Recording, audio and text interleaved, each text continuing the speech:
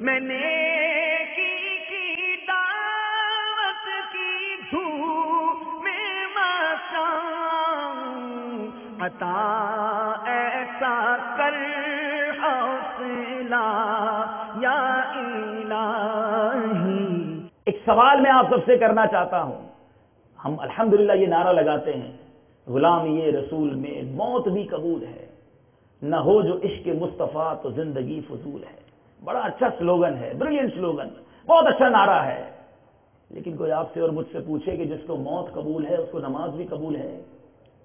آقا فرمائے، نماز پڑھو، میری آنکھوں کی ٹھنڈک ہے۔ کیا وہ نماز پڑھنے کے لیے تیار ہے؟ جو یہ کہتا ہے، میں نبی کا غلام ہوں اور آقا کی غلامی میں موت بھی قبول ہے۔ اسے اپنے آقا کی سنتوں بھرا لباس قبول ہے۔ کیا اس کو آقا کی سنتوں والا چہرہ قبول ہے؟ جس کو موت قبول ہے، اس کو حرام چھوڑنا قبول ہے؟ جس کو موت کہتا ہے غلامی رسول میں قبول ہے، وہ حرام دیکھنا اور حرام سننا چھوڑنے کے لیے اس کو قبول ہے۔ کہ یہ فقط زبانی نعرہ ہے۔ امام اہل سنت کا وہ شعر یاد کیجیے۔ کیا کہتے ہیں؟ کہ میں گدا ہوں اپنے کریم کا۔ میرا دین پار آئے نہ نہیں۔ کیسا پیارا واقعہ ہے کہ آپ کے پاس کچھ لوگ آئے۔ کہتے ہیں، حضور، آپ بہت بڑے شاعر ہیں۔ ہمارے قریب کے لوگ ایک ریاست ہے نان پارا۔ اس کے نواب کے قصیدے لکھتے ہیں، آپ بھی یہ قصیدہ لکھ دیں، آپ کی کتابیں بھی نہیں چھپ رہی مالی مشکل میں بھی ہیں، وہ نواب خوش ہوگا، آپ کو کچھ پیسے مل جائیں گے۔ اعلیٰ حضرت نے قلم اٹھایا۔ لوگوں نے سوچا ہوگا کہ اب تو اعلیٰ حضرت بڑا زبردست قصیدہ لکھیں گے۔ سب کو پیچھے چھوڑ دیں گے۔ امام اہل سنت نے واقعی سب کو پیچھے چھوڑ دیا۔ قصیدہ کس کا لکھتے ہیں؟ اپنے آقا کا۔ کیا لکھتے ہیں؟ وہ کمال حسن حضور ہے۔ کہ گمان نقص جہاں نہیں یہی پھول خار سے دور ہے، یہی شمع ہے کہ دھواں نہیں۔ لکھتے ہیں، میں نثار تیرے کلام پر۔ ملی یوں تو کس کو زبان نہیں؟ وہ سخن ہے جس میں سخن نہ ہو۔ وہ بیاں ہے جس کا بیاں نہیں۔ آقا، تیرے آگے یوں ہے دبے لچے فسہا عرب کے بڑے بڑے۔ کوئی جانے منہ میں زبان نہیں نہیں، بلکہ جسم میں جان نہیں۔ وہ پورا قصیدہ لکھ کر کیا لکھتے ہیں؟ ہمیں عقیدہ دے رہے ہیں۔ ہمیں زندگی گزارنے کا فارمولہ دے رہے ہیں۔ کہتے ہیں، کروں مد ہے اہل دبل رضا۔ اے رضا، میں پیسوں والوں کی مدد سرائی کروں۔ کروں مد ہے اہل دبل رضا۔ پڑے اس ملا میں میری بلا میں گدا ہوں اپنے کریم کا۔ میں غلام ہوں اپنے کریم کا۔ میرا دین پار آئے نہ نہیں۔ ارے، میرا دین کو روٹی کا ٹکڑا نہیں۔ کہ میں دنیا والوں کی مدح سرائی کرتا پھروں۔ ارے کریم کے غلاموں کہاں چلے گئے؟ آقا سے دور رہ کر زندگی اچھی نہیں۔ نبی کی سنتوں سے دور رہ کر یہ زندگی اچھی نہیں۔ ارے آج دنیا والوں کو آئیڈیل بنانے والوں! کہیں ایسا نہ ہو کہ قبر میں مصطفیٰ کی پہچان نہ ہو۔ ارے ہم دن بدن قبر کے تو قریب ہو رہے ہیں۔ لیکن ایسا نہ ہو کہ مصطفیٰ کے دور ہو جائیں۔ صلی اللہ تعالی علیہ وسلم، میرے آقا کا فرمان ہے، فمن رغب عن سنتی فلیس منی جس نے میری سنت سے منہ موڑا وہ مجھ سے نہیں۔ کہیں اس وقت پریشانی، شرمندگی کا سامنا نہ ہو جائے۔ ہر سال میلاد آتا ہے۔ ہر سال میں گھر سجاتا ہوں۔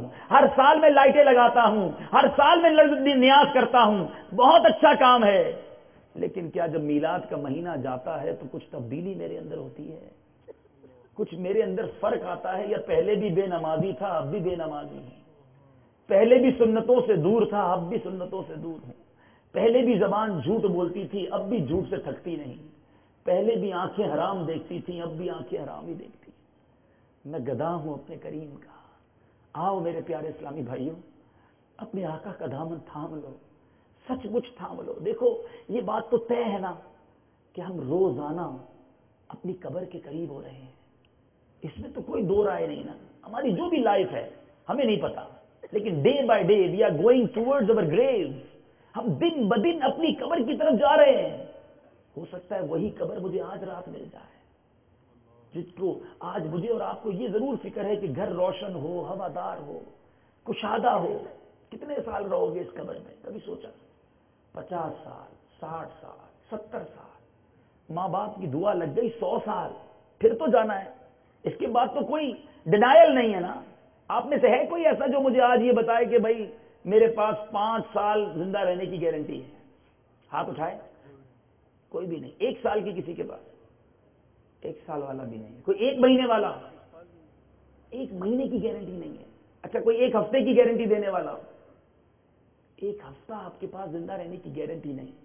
کوئی ہے جو کہے کہ میں فجر کی نماز تک زندہ رہوں گا۔ ارے، آپ کے پاس فجر تک گارنٹی نہیں ہے۔ اور اب جانا کہاں ہے؟ قبر میں۔ اس اس قبر میں کیا ہوگا میرے ساتھ؟ اس کے بارے میں سوچا۔ دنیا میں آپ کو کبھی سفر کرنا ہوتا ہے، دس دن پندرہ دن کا، آپ وہاں کا موسم پوچھتے ہیں۔ جو انٹرنیشنل ٹریول کرتے ہیں، وہ وہاں کی کرنسی پوچھتے ہیں۔ وہاں کوئی جاننے والا پوچھتے ہیں۔ کچھ لوگ جناب انٹرنیٹ پہ جا کے وہاں کے حالات، معاملات پوچھتے ہیں۔ دیکھتے ہیں کہ کیا کیا ضرورت پڑ سکتی ہے۔ ارے، پندرہ دن کے سفر کے لیے آپ اتنی معلومات کرتے ہو۔ جس کی ڈیٹ بھی آپ ڈیسائیڈ کرتے ہو، جس کی ٹکٹ بھی آپ بک کرتے ہو، جس کا موسم بھی آپ طے کرتے ہو کہ نہیں جناب، بڑی ٹھنڈی کنٹری ہے، گرمیوں میں چلے جائیں گے۔ لیکن ایک سفر ایسا ہے، جس کی ڈیٹ ڈسائڈڈ ہے، آپ کو نہیں معلوم۔ جس کا سفر طے ہے، مگر ہمیں نہیں معلوم کب جانا ہے۔ کبھی سوچا وہاں کون سی کرنسی چلے گی؟ وہاں کون ساتھ آئے گا؟ وہاں مجھے کون مدد کرے گا؟ اکیلا ہوں گا؟ وہاں کے لیے سامان کون سا کام آئے گا؟ ایسی لاپرواہی اچھی نہیں۔ آگاہ اپنی موت سے کوئی بشر نہیں۔ سامان سو برس کا ہے۔ پل کی خبر نہیں۔ ارے جب پل کا پتا نہیں تو کیوں نہیں کرتے قبر کی تیاری؟ آ جاؤ، نبی کے دامن سے وابستہ ہو جاؤ۔ ایک ہی راستہ ہے۔ دیر از اونلی ون وے جو بخشش کا راستہ ہے، جو نجات کا راستہ ہے۔